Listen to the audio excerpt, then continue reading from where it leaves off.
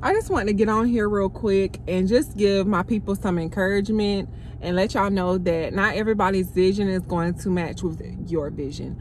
Okay, so not everyone's faith is going to match with your faith. You have to have faith in you before you can um, basically manifest the things that you want. And when I say manifest, I mean uh, you what are you believing in God for? Are you believing in God for what it looks like, or are you believing in God for in the supernatural?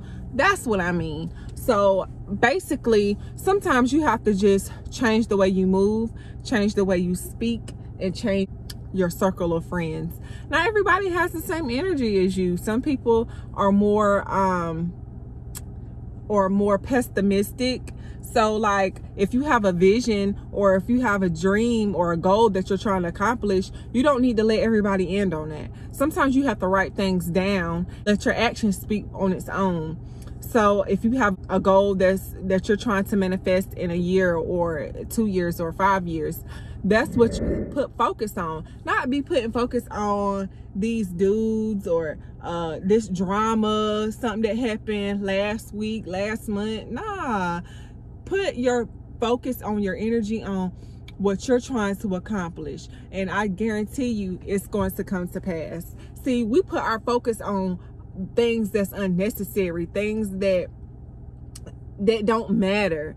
But if you shift if you start shifting that if you start shifting your focus on the things that you want to succeed and stop looking at everybody else's success but um, manifesting your own success, I guarantee you, no one will be able to tell you anything.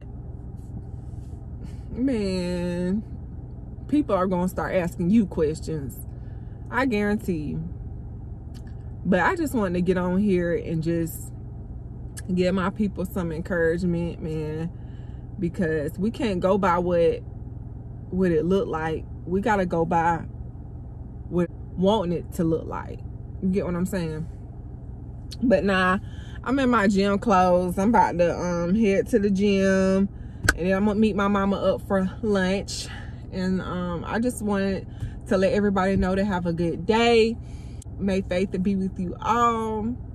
To God be the glory. And I'll see y'all in my next video. Peace.